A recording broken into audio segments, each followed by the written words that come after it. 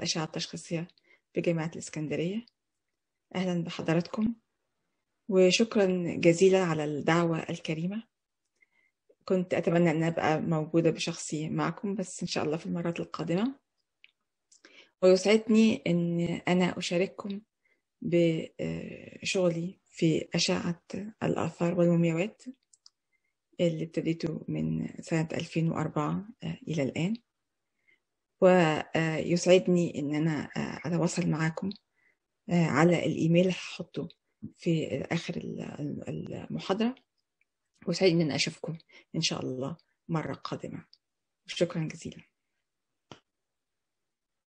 The only country that has a science with its name to study its monuments and mummies is Egypt. Ancient Egyptians believed in immortality and life after death. They believed that everyone had a soul that survived after death. The soul was in the shape of a bird with a head similar to that of the deceased. The soul and the body had to be united to reach the perfect afterlife. So, ancient Egyptians invented mummification to preserve the dead body for the life after. However, ancient Egyptians did not leave any writing about mummification. We know about the process from the notes of uh, Herodotus, an ancient Greek traveler who visited Egypt later in the civilization. He described the process that was in three levels according to the cost the most expensive, the moderate, and the cheap. Mummification took 70 days in special workshops. The embalmers removed the internal organs to avoid body putrefaction. Then placed the bodies to dry in salt. They wrapped the bodies using linen bandage that may reach 1.5 miles in length. The embalmers placed amulets inside the body and between the wrappings for protection.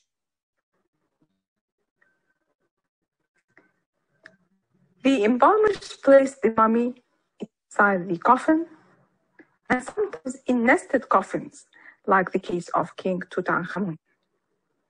In the funeral, the mummified body was moved with its belongings to the tomb, accompanied by members of the family, friends, and professional women mourners. The royal tombs in ancient Egypt were inside the pyramids or in underground shafts in Saqqara near Cairo. Royal tombs were built in the rocky mountains of the Valley of the Kings in Luxor in the New Kingdom. The tombs had drawings and writings to support the disease in his journey. Here is the, the tomb of Tutankhamun at the Valley of the Kings in Luxor. More than 5,000 objects were found inside the tomb of King uh, Tutankhamun.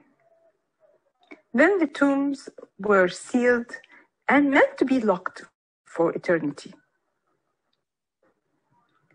But the ancient Egyptian tombs have been a target for thieves since ancient times through our modern days. The 19th century witnessed massive excavations that resulted in unearthing thousands of mummies.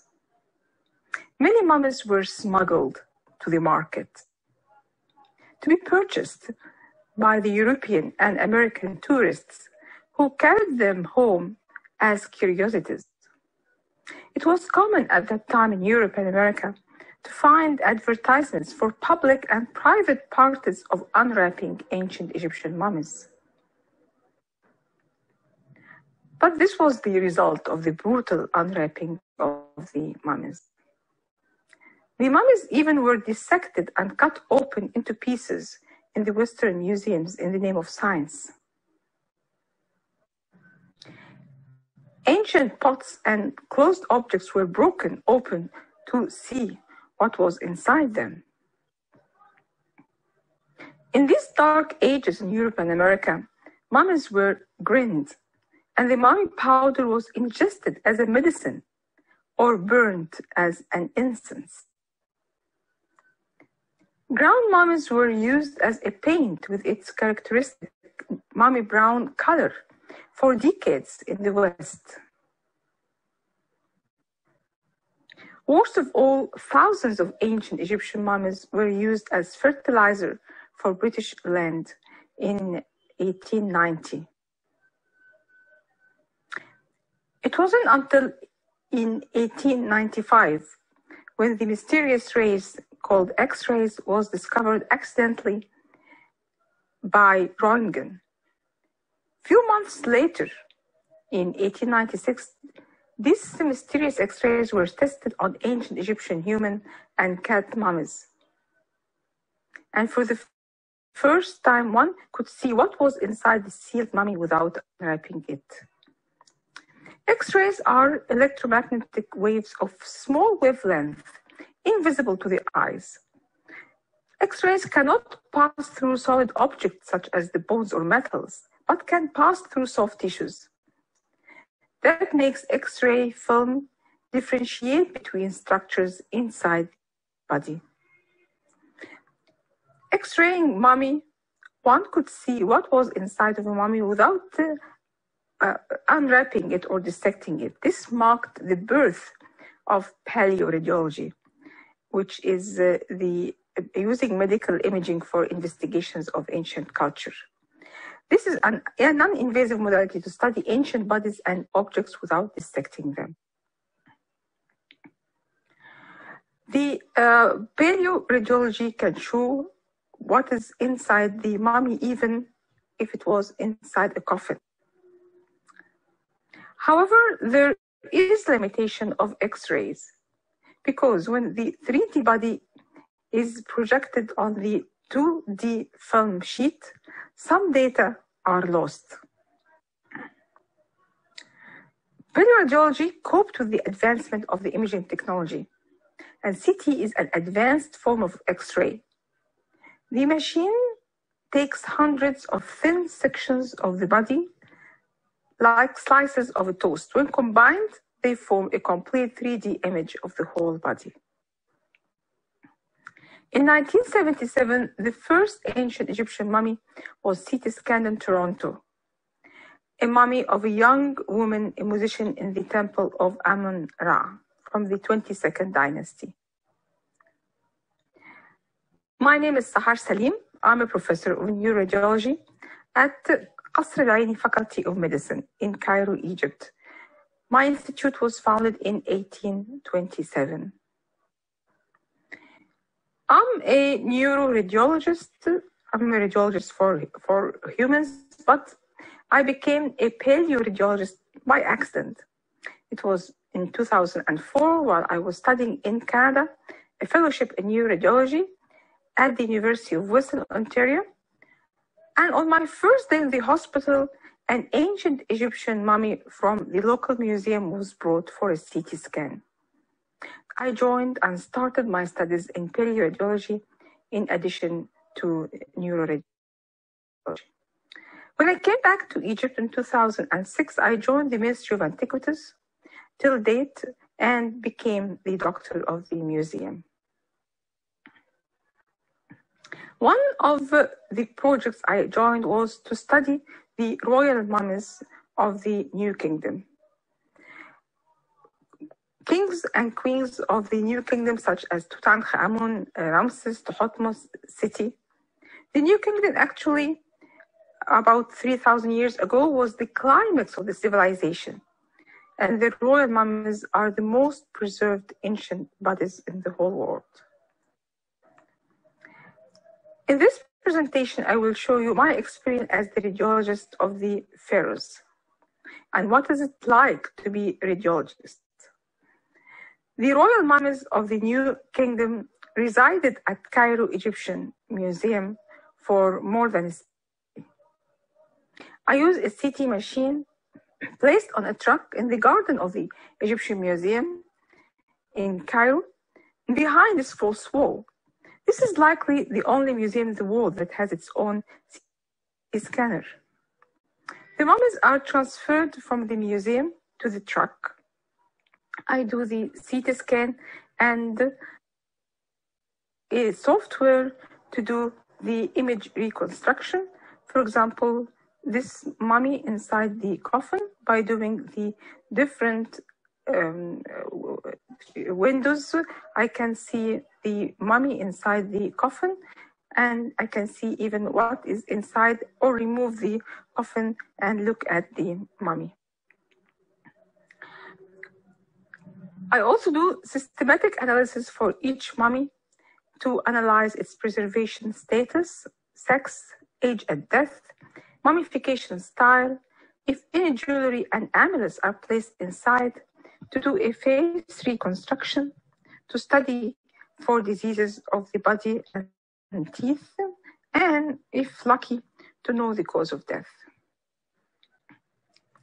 CT helped me to bring the royal ancient bodies back to life through determining the sex from the different shape of the skull and pelvis, estimating the age based on teeth eruption or fusion of bone in juvenile bodies, Uh, teeth attrition and joint degeneration, and the appearance of the surface of the symphysis pubis in adult mummies. I had also a unique experience when I studied the two miniature mummies, each placed in a nested coffin, found inside a box in the tomb of King Tutankhamun. I did the CT scan for the two mummies, a small one and a larger one. CT scan showed multiple post-mortem fractures in both mummies, especially the smaller one. This must have been caused by the bad storage of the mummies. My CT studies proved that the mummies were for two human female fetuses. The appearance of the bone centers and teeth buds enabled me to estimate their ages for 25 weeks and 36 weeks of pregnancy for the smaller and the bigger one respectively. The fetuses received royal mummification standard and did not show any congenital anomalies. DNA proved that they were the daughters of uh, Tutankhamun. This was the first CT study ever done for an ancient mummified fetus, and thus I set the model for future CT scans for, of ancient mummified fetuses. This uh, uh, study, will, I published it in the American Journal of Roentgenology in 2011. In a project with Cairo Egyptian Museum, I studied several objects at the basement untouched for more than a century.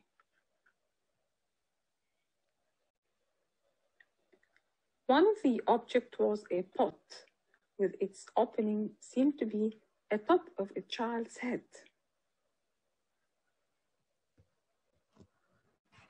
I placed this pot inside the CT scanner. CT scan virtually cut open the pot to show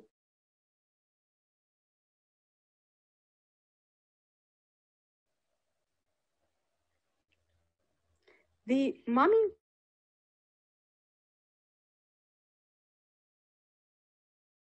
no teeth eruption. The stature was 52 centimeters. From the head circumference, the age was five to six months.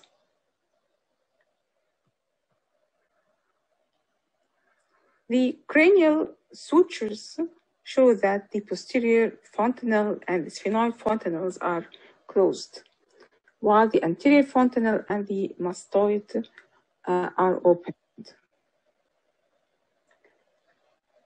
The mummy included transnasal brain removal of the brain and as well as complete evisceration. There were no skeletal malformation or evidence of a cause of death, which could be a viral or related to other diseases for uh, in the removed viscera. Marriage and family were valued in ancient Egypt. Children were considered a blessing and were cared for. Sons and daughters took care of their parents in their old age and were called the staff of old age. There was a personal, familial, and cultural recognition of children, even at the, fet- the fetal stage. Tauret, the chief deity for protecting pregnancy and newly born, was in the form of hippopotamus with lactating breasts and claws to attack the enemies of the fetus or the newly born. Tauret holds in her hands the ankh, symbol of life for the fetus. The fetus was recognized as a separate uh, identity.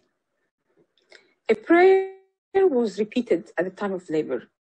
Ammon, make the heart of the deliverer strong and keep alive the one that is coming. By this form of recognition, miscarriage or a stillborn child becomes the death of a family member who must be mourned and had the same funerary rituals as any adult.